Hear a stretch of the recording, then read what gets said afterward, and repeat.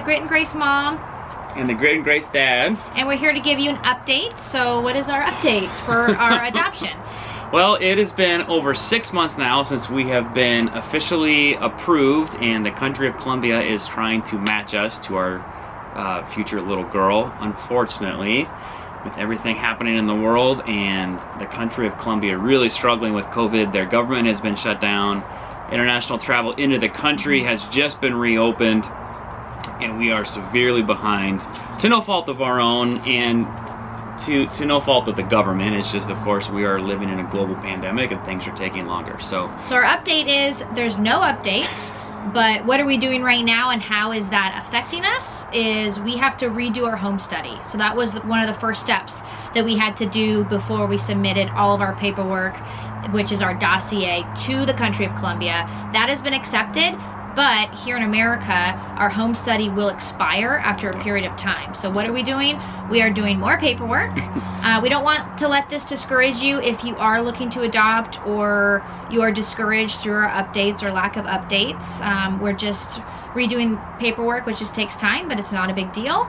And then we are rescheduling our home study for them to come back on our house and just reapprove everything here in America. Okay, yeah, and so we also have an update. We did hear back from our agency. Uh, this would have been towards the end of March or April, and they, the timeline that we had been given at that point has been extended now. Yeah. They were thinking it would probably be another 18 months from that point, which puts us at about 12 to 15 months away. Yeah. So, so in, again, yeah. in all, with any with any luck or with any sort of good timing, we should be looking at about a year from now, and that's our best guess.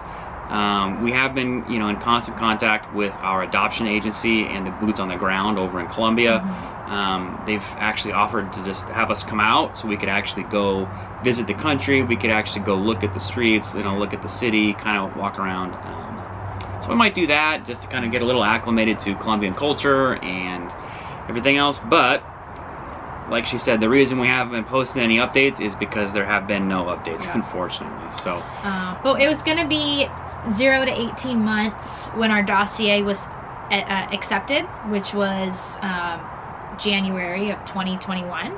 And then in about the spring, it got pushed back to zero to two years.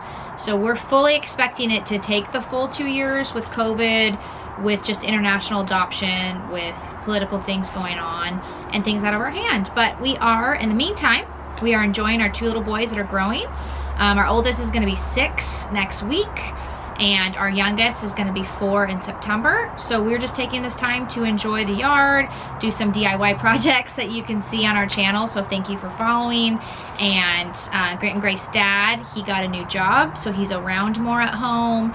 And we're just trying mm -hmm. to mm-hmm. live our best family life and kind of mm-hmm. enjoying adventuring together until um, our daughter is with us. Has it been frustrating? Yes, it's been frustrating, um, and it's it's tough because it's out of our control. We've done everything up to this point, and we can't do anything else. It's just uh, kind of a hurry up and wait game, and we are waiting, and we are in year three, almost year three and a half right now. So, yeah, our, but we are we're hopeful, staying strong, and we yeah. are hopeful, and we know that it will obviously will all be worth it at the end.